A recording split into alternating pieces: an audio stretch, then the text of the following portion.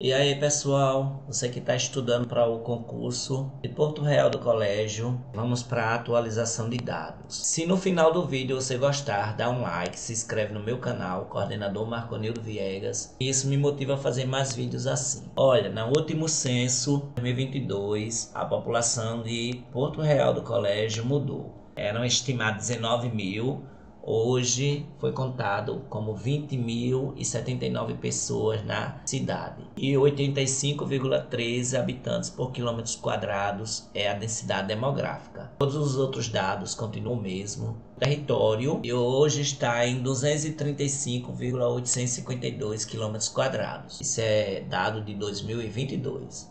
Então é isso, pessoal. Foco sempre.